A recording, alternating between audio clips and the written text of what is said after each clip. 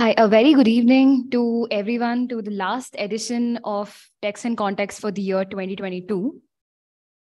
First up, we have Nikhil, who will be presenting on a federal circuit case, which is Finjan LLC versus ESET and others. Over to you, Nikhil.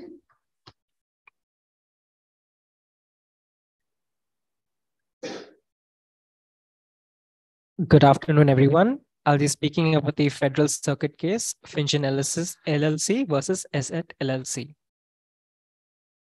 So uh, basically what this case is about is there are three patents in question. The first patent, which, which we'll call as patent A, has defined a term with a first definition. There is a second patent, which we'll call patent B, that has defined the same term, but with a different, different uh, with a different definition. Then there's a third patent known as patent C, which includes the same term, but does not explicitly define it.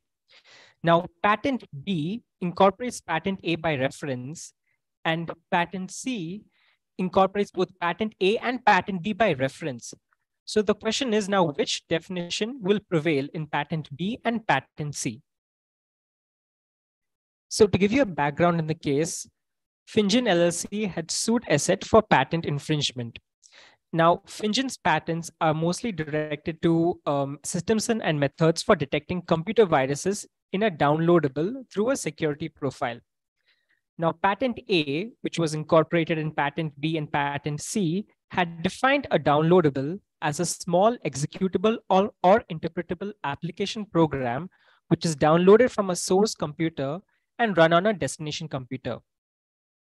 Patent B which had incorporated patent A by reference, had explicitly defined download downloadable as an executable application program, which is downloaded from a source computer and run on the destination computer. So the difference in the two definitions was that the term small was omitted in patent B. Patent C had not included any uh, definition for the word downloadable, but it had incorporated both patent A and patent B by reference. So when it came to construction of the term, the district court construed the term downloadable in patent B and patent C based on the definition of patent A, since patent A was incorporated by reference in both of them. Now, because of the district court's decision to include the term small in the definition for the term downloadable, the defendant then asserted that the claims for the plaintiff's patents were indefinite because what was the, the, specific range for what would be considered as a small program was unclear.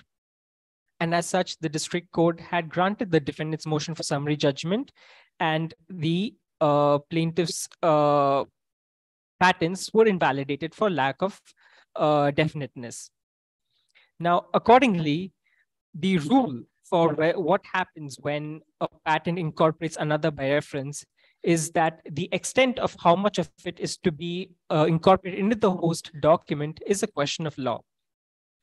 And the standard for uh, indefiniteness is that uh, the claims, when read in light of the specification and prosecution history, should be able to inform skilled artisans about the scope of the invention with reasonable certainty.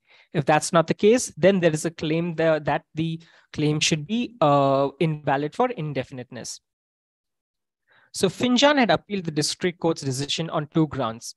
The, uh, the first uh, ground was that the term downloadable should not have the definition as uh, laid down in patent A because patent B had explicitly defined what a downloadable is and it had intentionally omitted the limitation small in its definition.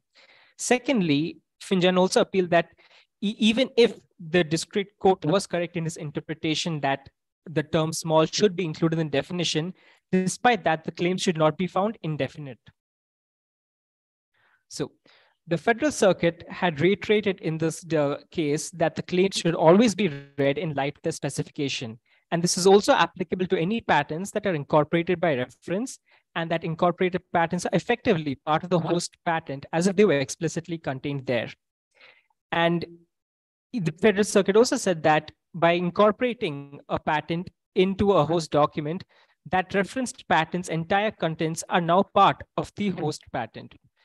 That being said, the Federal Circuit did mention that incorporation by reference does not convert the invention of the incorporated patent into the invention of the host patent, and that it would be erroneous to assume that the scope of the invention of the reference patent is exactly the same as that of the host patent, and that to determine the impact of how much an incorporation of reference would have on a host patent, that would be based on the context. So the Federal Circuit's holding was that district court had erred in finding both definitions, that is the patent A's definition for a downloadable and patent B's definition for download, downloadable to be competing. And secondly, the district court had erred by trying to resolve this ambiguity by finding that the definition to be the most restricted definition. So the Federal Circuit found that it was unnecessary to impose such a limitation because it had found that the definitions were not competing and that there was a way to construe both the terms such that there could be harmony between them.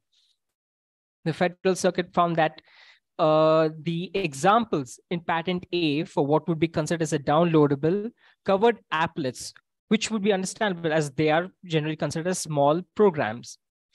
The Federal Circuit then looked at what examples for downloadables was available in Patent B. And Patent B had included examples such as JavaScripts, Visual Basic scripts, and these were in addition to applets. So it is clear from Patent B that there wasn't a size requ requirement for what could be considered as a downloadable. And since the examples in Patent B had expanded on what was available in Patent A, it was clear that the term small should not have been added into the definition for what a downloadable was, according to patent B. Then the, uh, the Federal Circuit looked at patent C, which had not included any definition for downloadable, but had incorporated both patent A and patent B by reference. And in that, the court found that even the list of examples in patent C had a much more expansive list of downloadables compared to that in patent A. And as such, the, the, Federal Circuit found that the term small should not have been included for the definition of downloadable in patent C. So the final holding is that just because a host patent incorporates another patent by reference, that does not mean that the invention of the host patent is transformed into the incorporated patent. And uh, the Federal Circuit did not uh, address the issue of indefiniteness because since the term small is what led to the claims to be being indefinite, and since the term small was excluded, that matter was now moot. So from a drafting practical standpoint, it would be one should be cognizant uh, cognizant of what patents are being incorporated by reference and in such a situation it should one should be aware of whether there are any conflicting definitions and if such then there should be some clear disclaimer in the host patent about which definition should prevail uh, secondly, what led to the patents being considered as indefinite was the term small, uh, and as such, any relative terms should be given a lot more clarity in terms of a broad range so that there is some uh, metric by which one could define what is considered a small, slow, or any other relative term. Uh, alternatively, one could just omit such a term altogether because that's just adds an unnecessary uh, limitation. Um, that is all. Thank you. Thank you, Nikhil.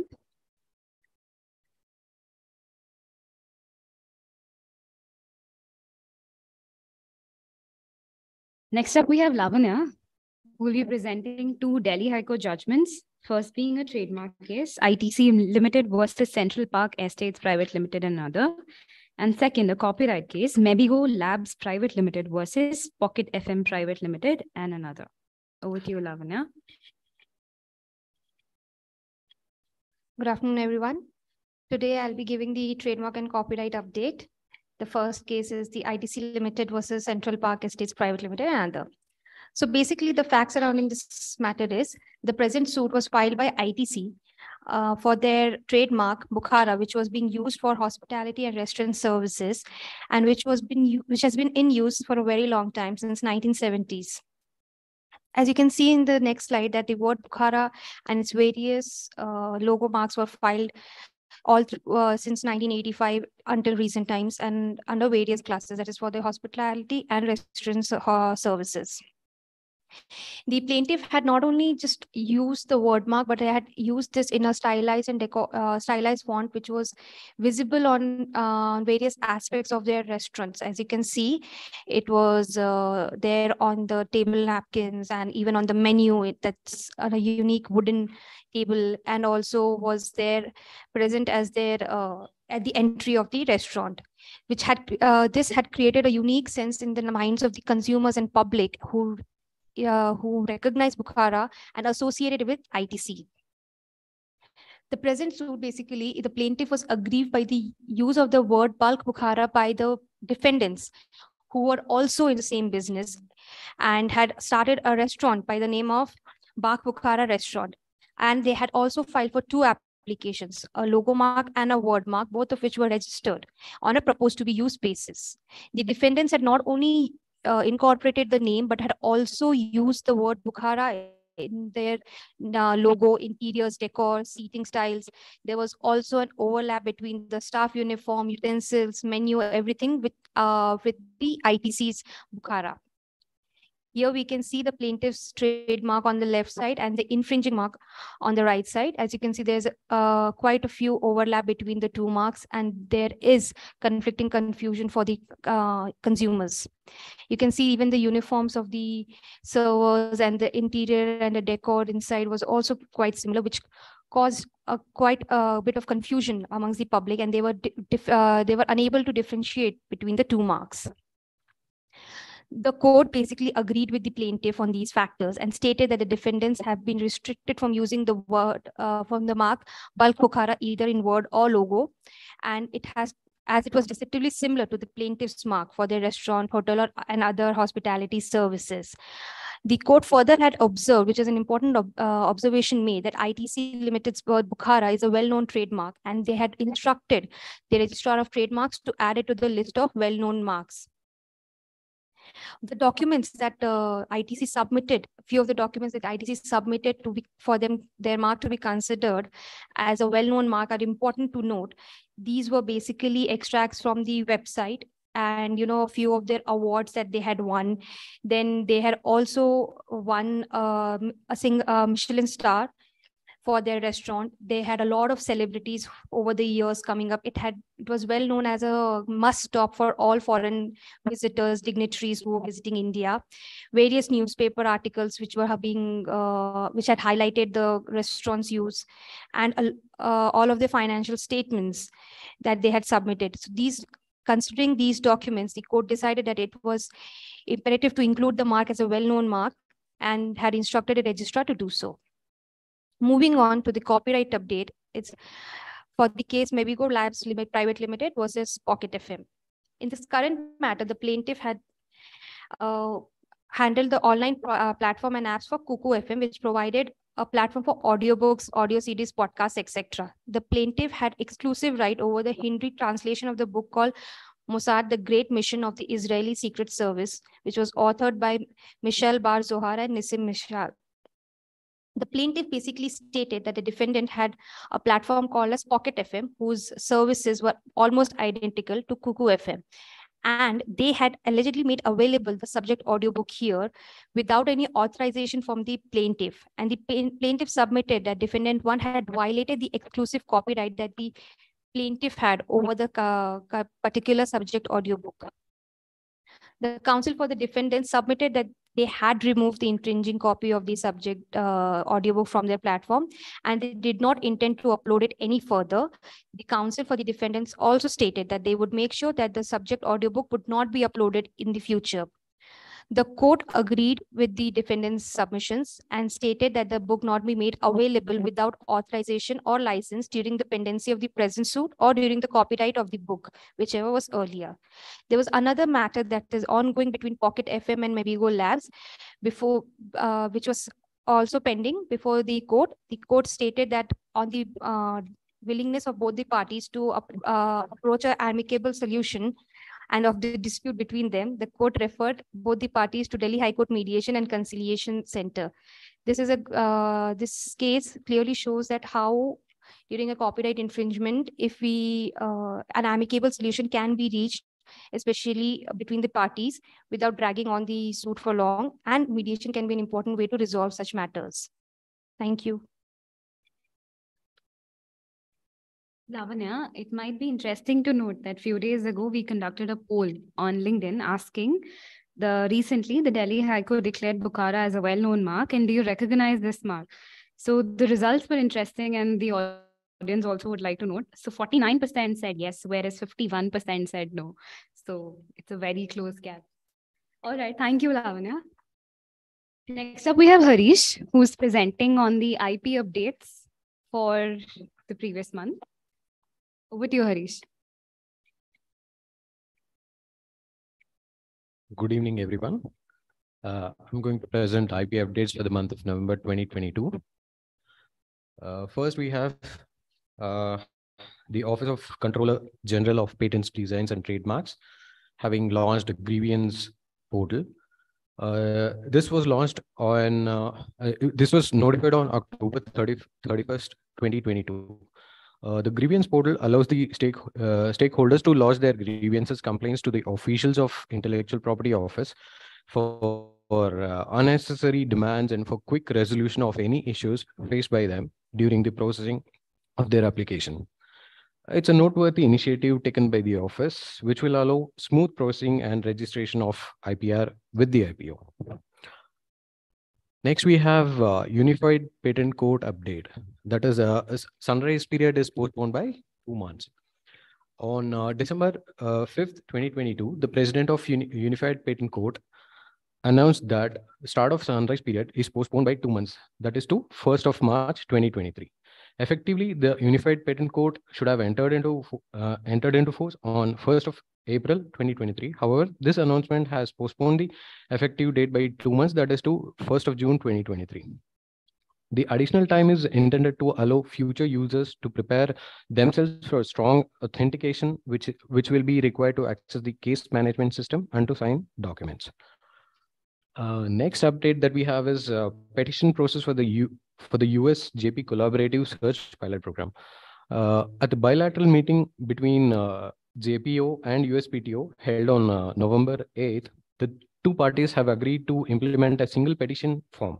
As a result, the applicant can participate in the USJP CSP program by submitting a single petition form either to one of the office.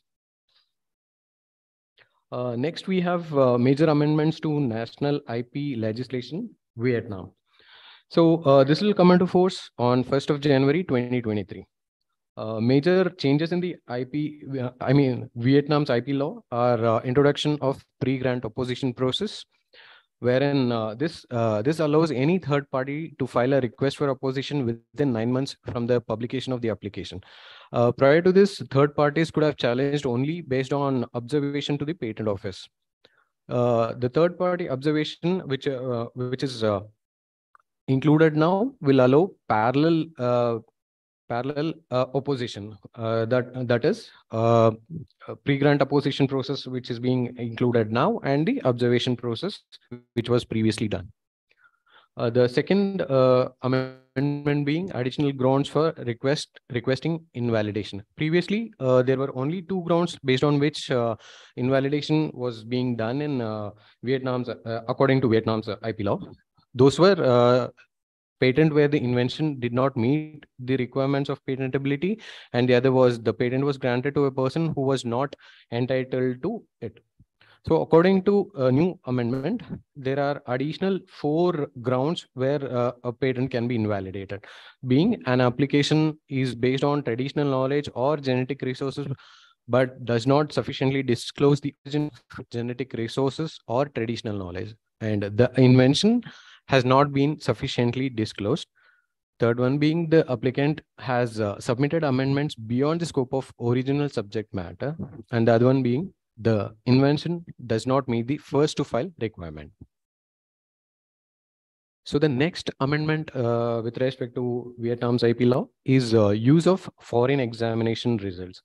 Here, uh, the patent uh, patent law allows examination results of other uh, foreign applications to be considered during the substantive examination of Vietnam's uh, patent application.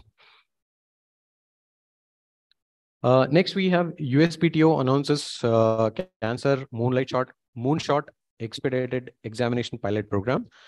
Uh, this program uh, this program basically allows qualifying technologies that is uh, health health and medical medical field to have the applications reviewed earlier and this program is scheduled to run until January 31st 2025 or date by which the USPTO accepts a total of 1000 grantable petitions whichever is earlier so this is uh, coming into enforcement by February 1st of 2023 Thank you.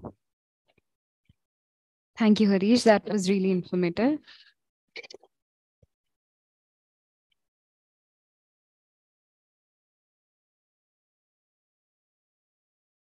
Next up, we have Naika, who will be presenting on a topic, Disco Dancer, the musical. I will leave it to Naika to introduce the case further.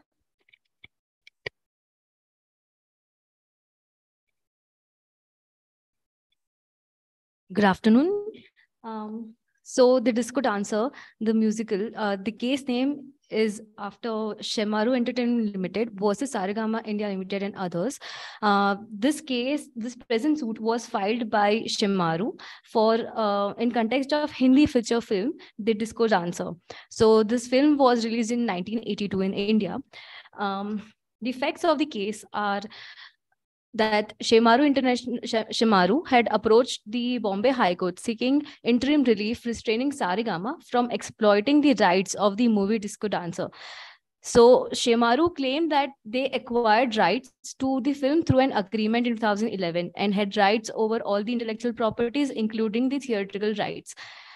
So a uh, few days, Shemaroo uh, on in November, first week of November, they came across a preview of a stage play disco dancer the musical on an instagram post is um, shown here so they they saw a instagram post by saregama official on their saregama official page showing that they were going to do a stage show of the disco dancer using the same script and same characters so the uh, Shemaroo, uh, they filed an interim injunction uh, restraining Saregama from staging the performance.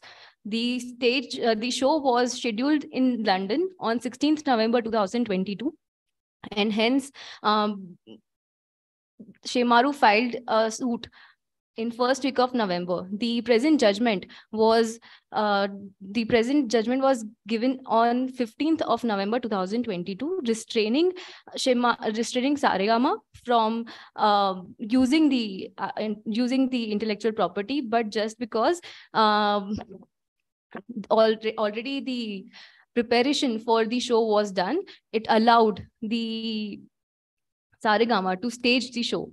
Further, uh, we'll discuss the contentions by Saregama.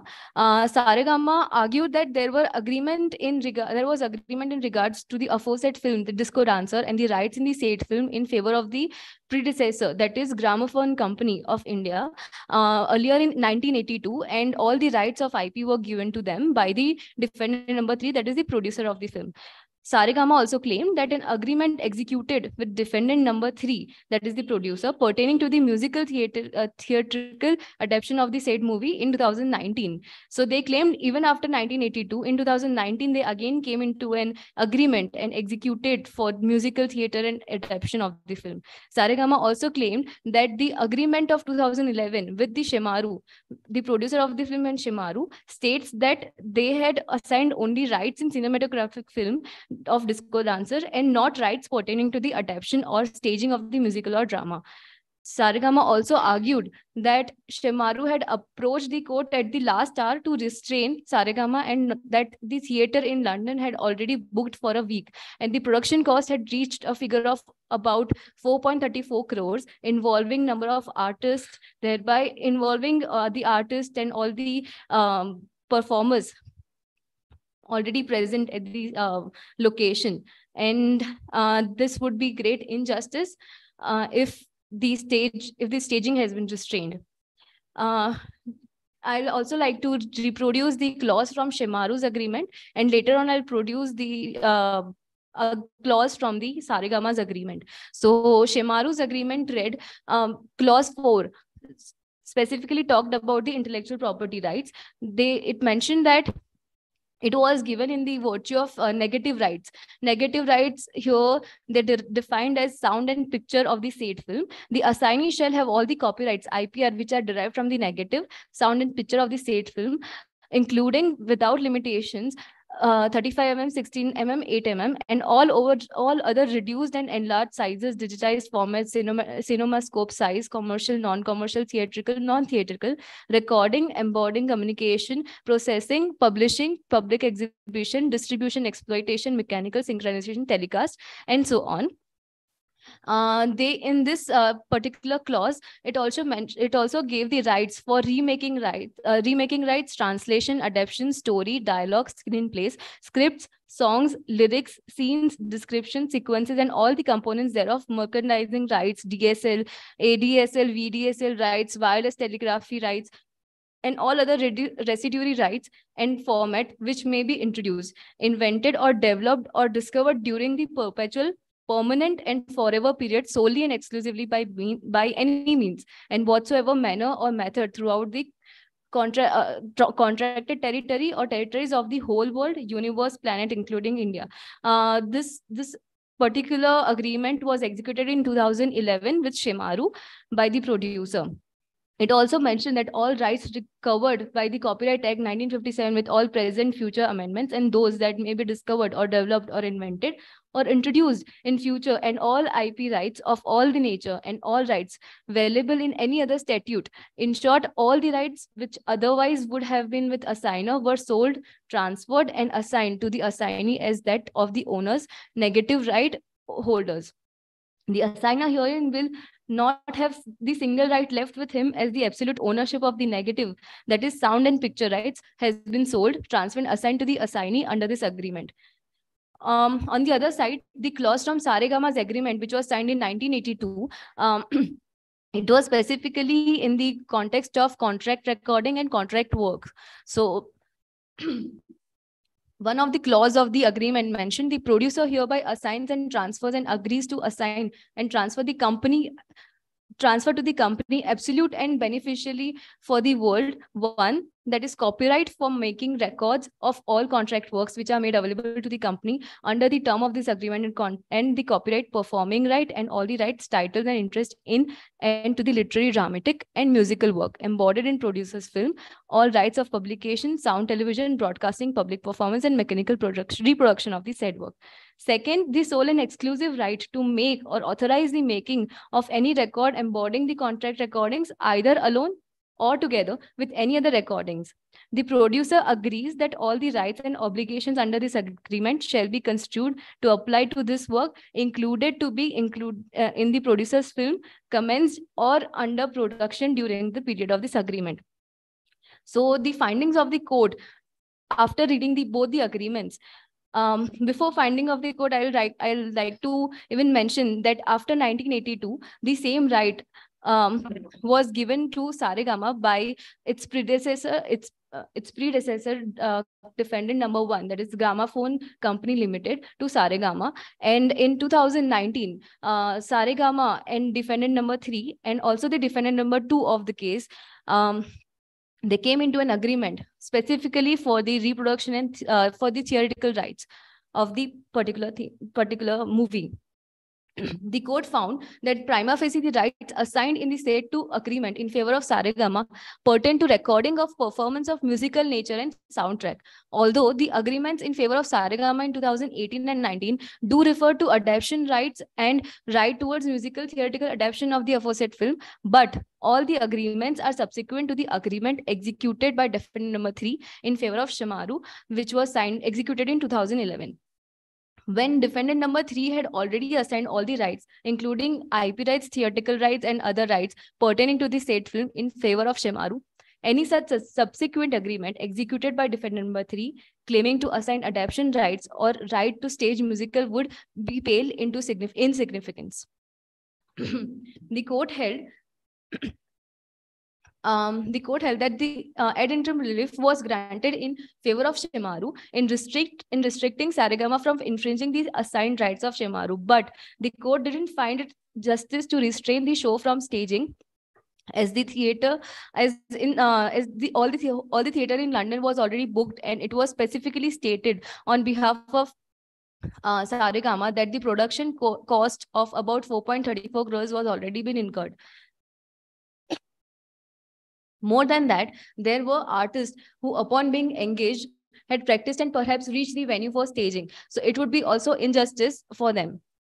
The second point which was held was the court further directed Saregama to deposit the entire collection from staging of such shows to the appointed senior master of the court within two weeks. The court also gave liberty to Saregama to apply to this court for release of specific amount towards expense incurred for engaging artists and other supporting staff.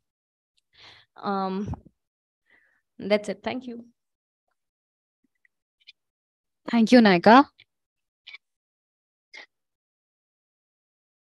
Next, we have Sushma, who will be taking us through patent statistics for the month of November. Over to you, Sushma.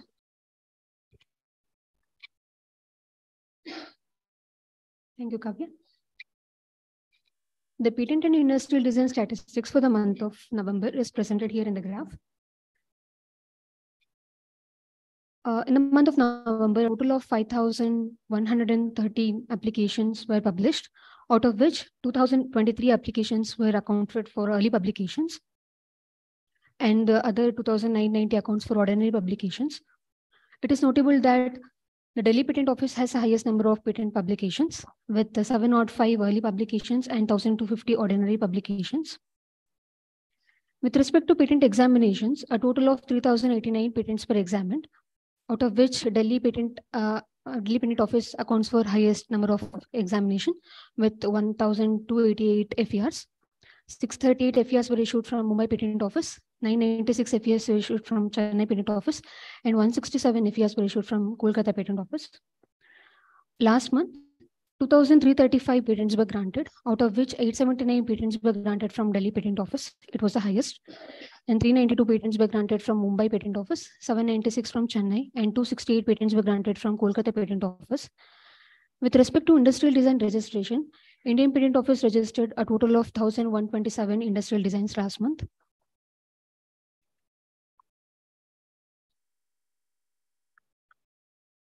All the data presented here were collected from 44th to 47th issue of Indian Patent Office official journal. For the weekly statistics, check out Banana IP's Intelli PD IP News Center. Thank you. Thank you, Sushma.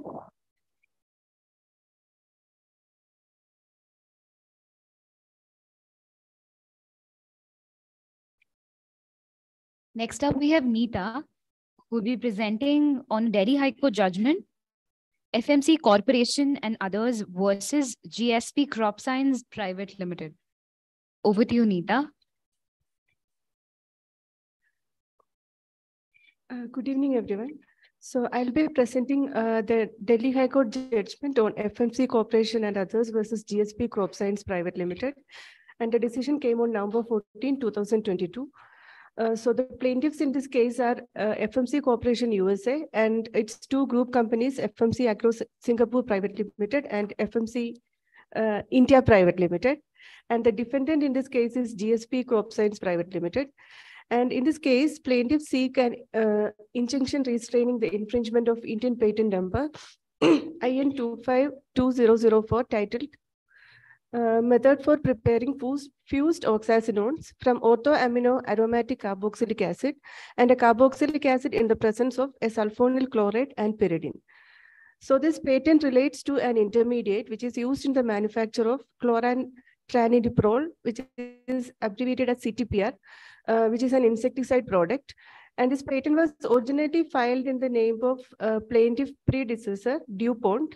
And this uh, company, DuPont, was later acquired by uh, the plaintiff. And uh, all the patents were assigned to the plaintiff filed assignment agreements uh, with an effective date from November 1st, 2017.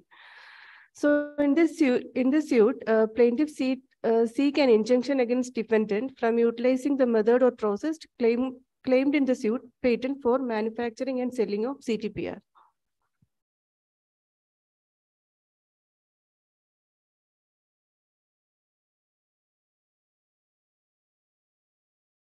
So the background of the case is uh, the defendant uh, in August 2022, the defendant obtained an approval from Central Insecticides Board and Registration Committee for technical indigenous manufacture of uh, the insecticide CTPC, CTPR.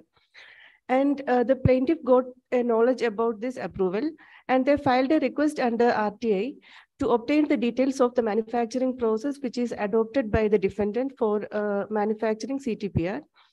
And uh, for this, CIB and RC sought a consent from the defendant for disclosure, and this was denied by the defendant.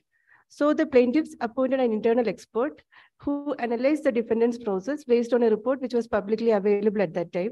And after analyzing the report, the plaintiff concluded that the manufacturing aspects disclosed by the defendant are identical to the process or method covered by the suit patent in terms of the starting material, products, and coupling reagent, which falls within the claim one of the suit patent. Uh, and uh, this case was listed for the first time on 23rd September 2022. And the court appointed a local commissioner to visit the manufacturing facility of the defendant and ascertain the process being used by the defendant for the manufacture of CTPR. Accordingly, the commission was executed and he filed the report on 19th October 2022. And in, in meantime, on 31st October 2022, the defendant submitted before the court that it had obtained necessary approvals for the launch of the CTPR product. And uh, since this insecticide is a seasonal product, it prayed for permission to launch, considering the matter was pending adjudication before the court. So the court uh, considered all the submissions made by uh, both parties and uh, made uh, and dismissed the uh, dismissed the application seeking the interim injunction by the plaintiff, uh, considering uh, several grounds, uh, which include evergreening, prior claiming, invalidity, and suppression and uh, misrepresentation of facts. so the court observed that the suit patent is prima facie invalid due to prior claiming. considering the following facts, on 8, October, 8 January 2004, DuPont, which is the predecessor to the plaintiff, uh, filed the CTPR process patent, which is uh, numbered IN332, with a priority date of 13th August 2001. And in this uh, application, the plaintiff had identified benzo benzoxazinone as a target intermediate, which is useful in the manufacture of CTPR. So they had disclosed this in the patent application, but it was not claimed at the time of filing.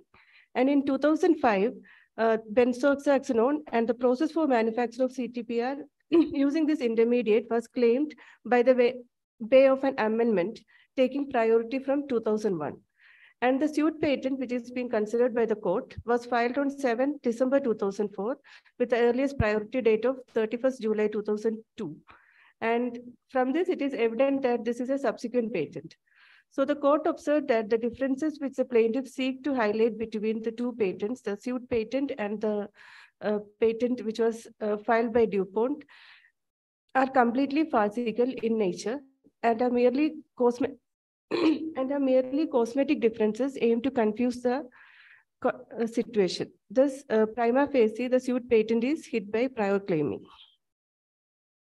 Uh, the court also observed that the suit patent is prima facie invalid and liable to be revoked based on uh, these observations. The process of manufacture of benzoxazinone or even fused oxazinones was completely disclosed in the patent specification IN 332. And the same process was used in the suit patent for uh, producing benzoxazinone, leading to CTPR. So the suit patent also contains identical examples from IN 332. So the court observed that uh, this cannot merely be a co coincidence. Therefore, this court is convinced that this is nothing but an attempt by the plaintiff to uh, extend the monopoly beyond the life of IN 332 under the garb of slight differences and usage of broad terminologies in the suit patent. The court also observed that there was a duty cast upon the applicant in the suit patent to have informed the examiner of the monopoly granted on claims in IN 332. This duty was not fulfilled by the applicant. So based on these grounds, the court observed that the suit patent is invalid and is liable to be revoked. And another observation made by the court was the plaintiffs are guilty of evergreening the CTPR exclusivity because the earliest priority date of the suit patent is 31st July 2022. And going by the priority date, 20 years of the patent have lapsed. and the invention has not worked in India. And also the uh, plaintiffs have uh, more than uh, they have filed more than 30 patent uh, families which have been filed by the plaintiff uh, seeking patents on different aspects of CTPR such as process, ingredients, intermediates, etc., which if granted would result in a monopoly and exclusive right till 2041, which means a further period of 19 years. So the court observed that in the opinion of this court, filing of such multiple patents for different aspects of the same product with an intention to extend the initial monopoly in some form or other would not be permissible. Undoubtedly, multiple patents can be filed for different aspects of a particular product if the test for novelty, inventive steps, and industrial applicability are satisfied and the inventions are patentable. However, serial patenting in order to evergreen a particular monopoly is not permissible. This would also clearly constitute an abuse of patenting system and curb legitimate manufacture and sale of such products in India, especially if most of the patents or inventions are not being worked. And the court also found that the plaintiffs are prima, prima facie guilty of suppressing material facts and misleading the court and the patent office. This is based on uh, these facts that uh, the corresponding European patent had lapsed in 2007 but in a rejoinder filed when submissions were heard, plaintiff continued to mislead the, mislead the court by submitting that the patent was granted in several uh, jurisdictions in Europe, including France, Germany, Switzerland. So this is factually incorrect. And uh, the Japanese patent application was rejected in 2009, but plaintiffs in the form 3 submitted to the Indian Patent Office claim that the corresponding application has been abandoned. And uh, plaintiffs also in the submissions before the court uh, claim that the suit patent is commercially very but this is in stark contrast with form 27 uh, which they submitted where it is categorically admitted that uh, the product is not being worked in India. And considering uh, the submissions, the court also found that it is not possible to arrive at a conclusion that the process of defendant is infringing at this stage because fused oxazinones are known as per disclosures of uh, made in the previous patent IN 332 and the process for manufacturing the same is also known. And the question whether the process of defendant is different or can uh, or not can be conclusively established only after the uh, technical experts have given the evidence.